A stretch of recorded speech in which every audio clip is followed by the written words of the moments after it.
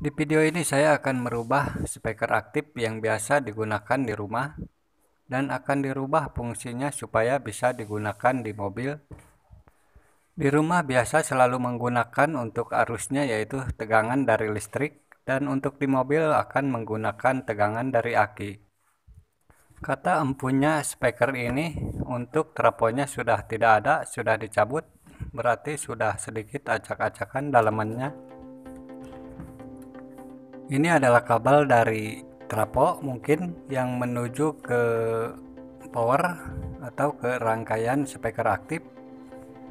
Oke saya akan mengeluarkan dulu untuk mesin speaker aktifnya supaya lebih leluasa untuk pemasangannya di luar saja. Dilepas dulu knopnya untuk membuka baut potensio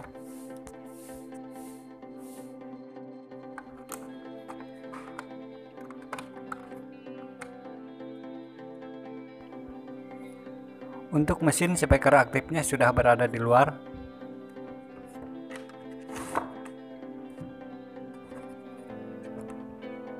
Dan ini ada resistor yang tergeletak di sini. Resistor apakah ini yang lepas?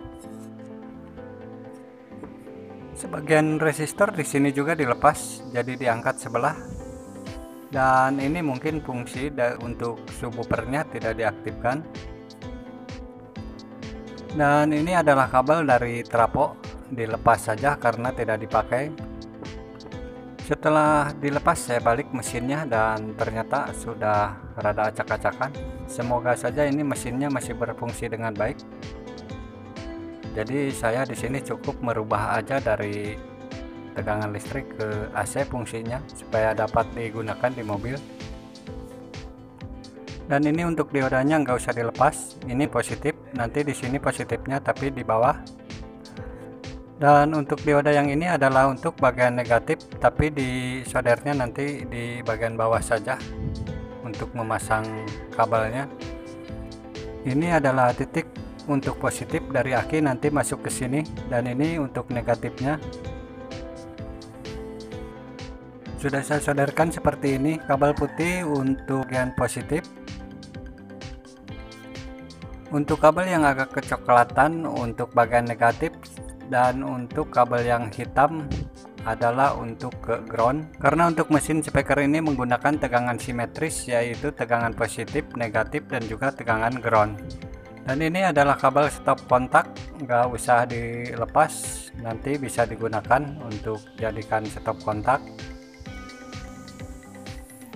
Oke saya sudah menyiapkan rangkaian DC to DC sudah diberikan double tip untuk menempelkannya. Saya tempelkan dulu. Oke sudah saya tempelkan seperti ini dan kabelnya sudah saya solder yaitu yang putih tadi tegangan positif ke bagian positif. Untuk kabel negatifnya disambungkan ke bagian negatif dan untuk groundnya disambungkan ke 0 tinggal menyambungkan kabel untuk aki yaitu ke pin ini ada tiga pin di sini. Untuk kabelnya saya akan menggunakan kabel bekas kabel trapo ini yang ke listrik. Ini tinggal putus saja biar tidak membingungkan. Sudah diputus seperti ini jadi yang putih bagian positif dari aki nantinya dan yang satunya adalah bagian negatif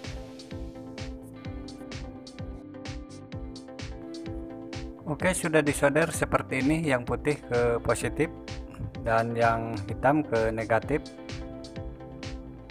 Berarti tinggal bagian rem yang belum mendapatkan kabel.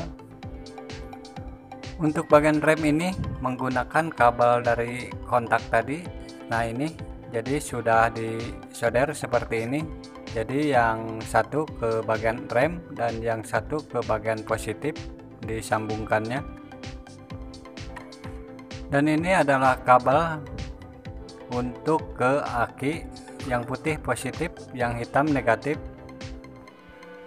Dan sudah saya sambungkan ke aki seperti ini. Dan sekarang tinggal menekan tombolnya apakah sudah aktif.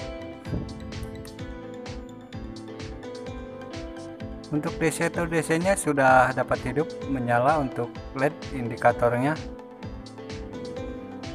coba saya sentuh bagian inputnya. Dan ada suara. Berarti untuk mesin speaker aktifnya masih berfungsi dengan baik. Tinggal merapihkan saja selanjutnya.